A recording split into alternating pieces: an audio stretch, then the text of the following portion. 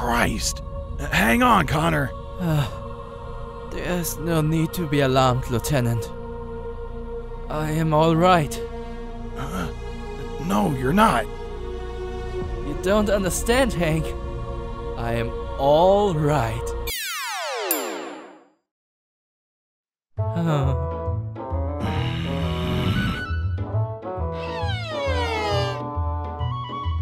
Hank, can you get me some Thirium?